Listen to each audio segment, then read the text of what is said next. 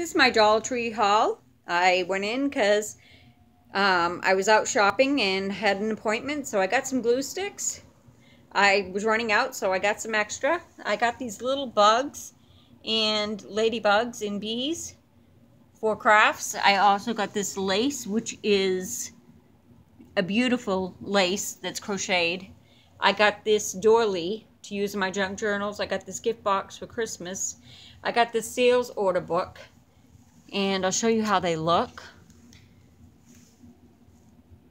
So I'm going to use that in my junk journals. And Lime-A-Way is great. It's a calcium.